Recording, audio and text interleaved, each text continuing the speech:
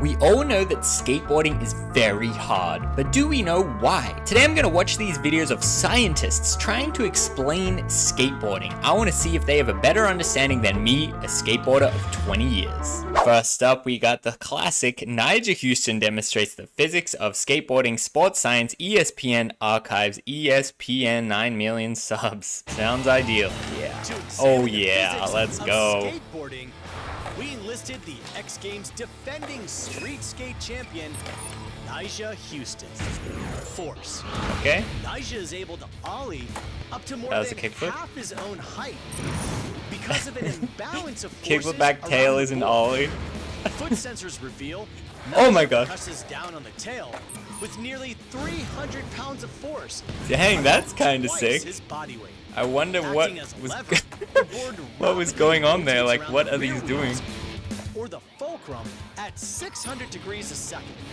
When the tail makes contact with the ground, an equal and opposite reaction force rebounds the skateboard, giving liftoff. And because gravity exerts an equal force on all objects, Nyjah and his board are able to travel through the air in unison. okay, I mean, yeah, uh, that makes sense. The grip tape on top of skateboard Yo, simulation. For like silicon carbide material. As Nyjah slides his feet, the resistance created from breaking these bonds enable him to control the direction of the board's motion. With yeah, a okay. kick of a foot, lasting just 12 hundredths of a second, Nyjah can bring the skateboard to the optimum height and rotate the board at about 1800 degrees a second. That's as fast as a helicopter blade. Yeah, Nyjah. Balance. When Nyjah grinds, he has to pinpoint 1,200 pounds of landing force on a surface only about half the width of a hockey puck. Even though Nyjah's arms Damn, backside flip out. Percent of his total that was lit. They're crucial for balance. This yeah. increases the total balance. mass away from the pivot point, creating a higher moment of inertia. In other words, a greater resistance to changes in rotation. I love how Nyjah just did lit tricks for this random video. Damn, Trey 5-0. In a regular spot Nollie heel 5.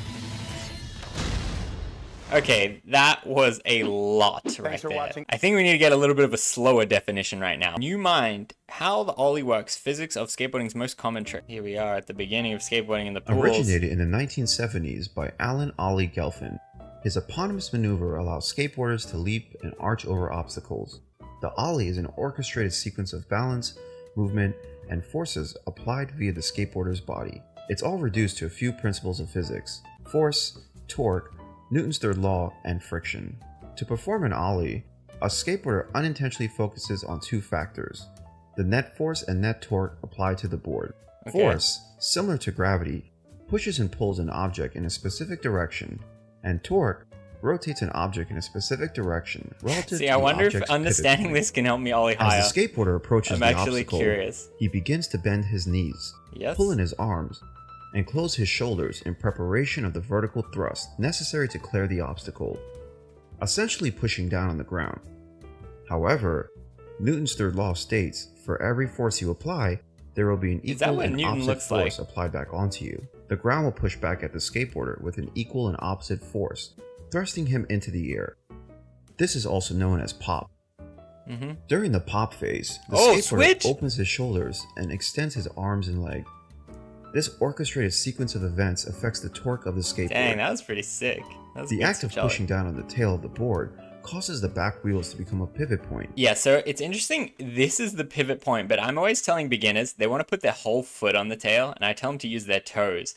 So I guess our body is using our toes to push and leverage right on the edge, and then that gives more uh, power against this pivot point. The I tail think. end of the skateboard rotates down, and the nose rotates up leaving the board at an angle. However, an additional step is further required to clear the obstacle. Mm-hmm. As the parabola begins, the skateboarder then uses friction to lift the board even so, higher. Like, I wonder if the person that made this is a skateboarder. Friction is a force that opposes motion between two surfaces. So in this case, the skateboarder glides his front foot up the grip tape. The opposing interaction of these two surfaces caused the board to move further upward. Let's try this one. Science of skateboarding in trouble. Originating in the United States that involves riding and performing Yo. tricks using a skateboard, as well as a recreational Dang, activity, not the an art best form, Ollie. an entertainment industry job, and a method of transportation. Physics is the natural science that studies matter, its fundamental constituents, its motion and behavior through space and time. But today we will mainly focus on two topics. 1. How do the skaters maintain their speed through an extremely clever use of angular momentum called pumping? And two, calculating the maximum height a skater might be able to air off the ramp. Okay, interesting. One, pumping. Yeah, we got the homie pumping from Sunnyvale. Is basically a skateboarding technique. Me and him did a collab video the together. rider's feet leaving the board. Pumping can be done by turning or on a transition, like a ramp or quarter pipe. When applied to longboards, it is also known as long distance skateboard pumping or LDP. What? Pumping is a technique similar to pumping no, a surfboard. it's not. You don't really pump if a longboard ever. conservation of energy, we should come to the conclusion that a These videos are wild already. No higher than they were on the other side of the ramp. Gravitational potential energy gets converted to kinetic energy as the skater goes down one side of the ramp, then gets converted back to gravitational potential energy as they go up the other side. Yeah. This is very similar to the case of a pendulum, which will never get higher than its starting point once it's released. Skaters can maintain or even gain energy between one side of the ramp and the other. I mean, so does this mean yeah, skateboarders we're are violating trying to the gain energy. of conservation of energy? The skateboarders are very clever and have figured out the fact how to utilize conservation of angular momentum to gain energy each time they go up and down the ramp using a technique called pumping. By starting with bent knees, like the skater at the bottom of the ramp in the figure above, and then extending like them figure. as they go up through the transition of the ramp, the skateboarder brings their center of mass closer to their axis of rotation, reducing their moment of inertia and increasing their angular velocity. It is kind of crazy to explain it like that. There's the so much going on. And again, going up the left side of the ramp, too. Maximum air height. just Have got you ever random street why can't a skateboarder launch themselves to 100 feet in the air off a half pipe? It all has to do with centrifugal force. Okay. It is a force arising from the body's inertia, which appears to act on the body 5? moving in a circular path, and is directed away from the center around which the body is moving. We can calculate the energy gained each time the skater pumps. Here's the key. As a skater goes up or down a ramp, they undergo circular motion, and so they feel a centrifugal force pushing them down towards their feet, forcing them to bend their knees. When this force is strong enough, pumping becomes impossible because the skater can't extend their legs, making them unable to gain any more energy and restricts them. So we can find that the maximum height a skater can attain by considering the max speed at which the centrifugal force would be too great okay, for them to pump Okay, interesting. What he just said then was in a vert ramp. He said you could always pump higher until you have so much speed that you can no longer press up against the pump to generate any more speed. But I would definitely argue that no skater has ever achieved that. I think a skater can always pump slightly harder um, and gain more speed because there's so many other variables that are affecting them from being able to reach this maximum. I can no longer stand up because I'm going so far. We got another one, hip science, physics hey, of skateboarding. Justin from Hip Science, and today Hello. we're going to be talking about the physics of skateboarding. So imagine that our reference point is the center of mass, which is right here at the center of the board where it balances. That's where gravity acts. So in order to get the board to leave That's the ground, interesting. They all have said that, but I never really thought about distance, that. Otherwise known as a torque. And I guess that makes tail. sense. That makes the board rotate around this axis. So it rotates down, it smacks off the ground. The normal force pushing back up on the board from the ground sends it into the air. That's called pop.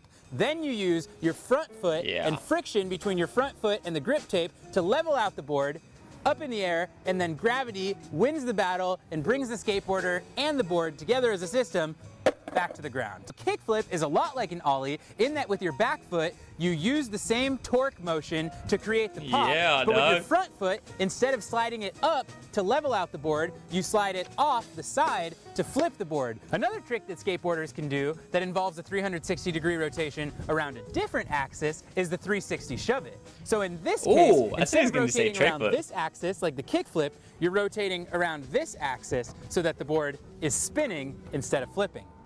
I hope this video makes you better at skateboarding. Thank you. It probably won't. Whoa. Let me try and put a different spin on it. So check it out, yo. Oh my god, we're rapping. Facts. It's no wonder all these cats questioning what class is the practice. Got you flipping round an axis, buttery skate tricks. Physics makes them smooth like chapstick. And as no for physics, way. let's start this discourse about force and also force at a distance, which is torque. See, torque's like force, but it causes a rotation, a rotation which is caused by angular acceleration. That's all it is. Each move, each trick, a bunch of torques, projectile motions, mechanics.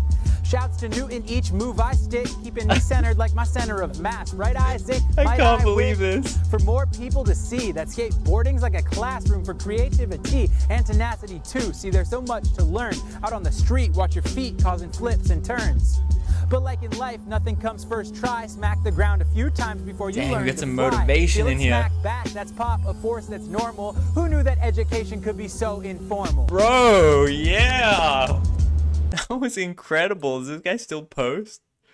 We got Physics Girl, very famous YouTuber, and she talks to Rodney Mullen, basically the pioneer of skateboarding, inventor of basically every single street skating trick, and they're going to dive into the physics. This video is about why skateboarding is an incredibly rich combination of fundamental physics with really difficult mechanics, and is a beautiful example of physics in action. We did a bunch of 360s, yeah. and so that's conservation of angular momentum, so you're coming out wide, and what happens okay. on that, because Rodney likes to talk very fast. That one is is one where you can't pull in your arms too fast because you spin right out of control. It's amazing to me how much of Rodney's use of physics is so inherent in his comfort with the skateboard. That is what's cool about skateboarding is like I said, I can do 360 flip, I can do many different tricks, but it's fun to actually think like about the physics of what is actually happening. Even pumping, it's almost like this intuitive thing that you can just achieve.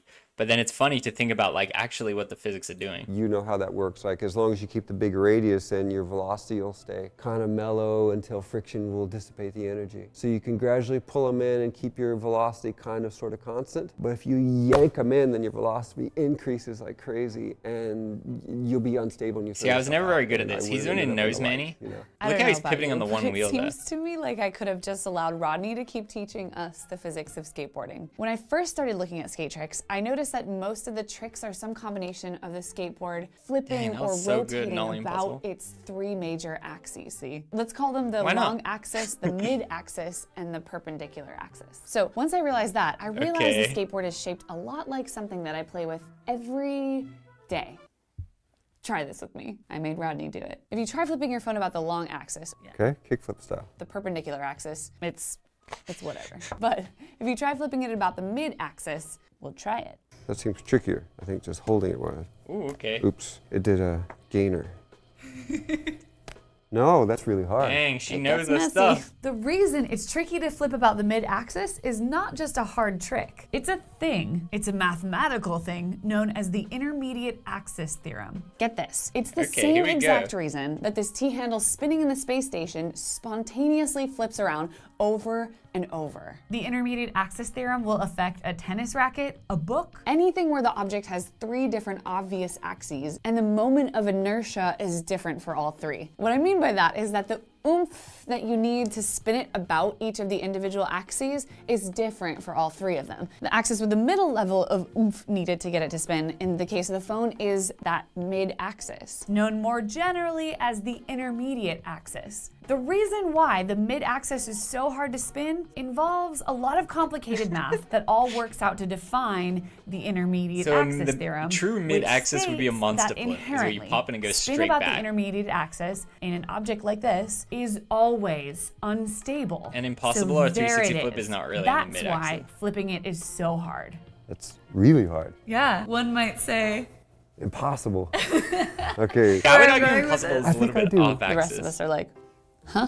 I asked if there was a trick where the skateboard spins about the intermediate axis, and I was told that there was. But see, and it's look, called like the impossible. This is a nollie impossible. Watch Rodney's nollie impossible. His foot actually oh, guides the board to make sure that it keeps spinning about just that axis. When I was asking him, like, is there a trick like that? And he was like, ah. yeah, there is. But you follow it with your, with your foot, and it was like, Interesting. And if he lets it go, well, physics says that it will probably become unstable. In fact, he did another Have trick where it starts out spinning like an impossible, so. but look what happens as soon as he lets it go. Almost immediately, I mean, it started spinning trick. with much more complicated motion because he, it became well, unstable. he flicked that because out of a cat's me, foot, but this yeah, one okay. without the foot seems like it would be impossible because of the intermediate axis theorem. Well done, I learned something. The reason that skateboarders have to keep their foot on the board to guide an impossible is partially to overcome the intermediate axis theorem. It's the same reason that the teething in space starts spontaneously flipping. Kickflips had been done, shove it so, had been done. I love how it says had been done, aka I invented it them. called impossible because it would take too long to hang out and you'd never really get it down. So, so what happened was I got her, I'm like credited with creating the trick or whatever. So Wait, I, the impossible? Yeah. And so I got casual. I got hurt. Or whatever. yeah. I didn't name it. I just kept stomping on the tail and I learned how to follow it. Yeah. That's the way That's the trick so works. Sick. You learn It's crazy that like that was not scoop. very long ago. Mm. scoop it. So it's a scoop trick. But the way I like the nollie when it had a more straight I'd love to learn nollie impossible. I can't do it right now. Is because it goes with the grain. It sort of pole vaulted, and then you track it that way, which is a little harder. That's why so yeah. it's so rare to see people do it. That was really cool. I enjoyed that thoroughly. It's funny how skateboarders can understand the physics better than the physics people, but then it's funny for both of them to talk about skateboarding and talk about physics and merge together. So that was a really cool video. Shout out to the homie that did the rap. That is it for now. I like skate.